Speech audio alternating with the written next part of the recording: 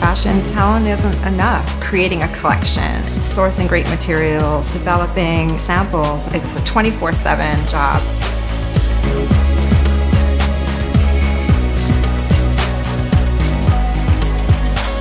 LIFEWTR came to us and asked us to look at our talent and choose who we thought would benefit from a collaboration like this. This is the very beginning for these guys, and if it wasn't for LIFEWTR, we wouldn't be able to empower them to show their first collection.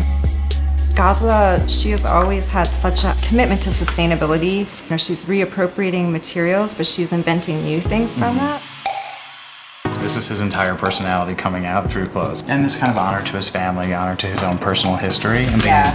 vulnerable enough to share that with the world. Tiffany, total trailblazer. The way that she's creating an experience for people to not only view her collection, to actually step into the universe that she's creating.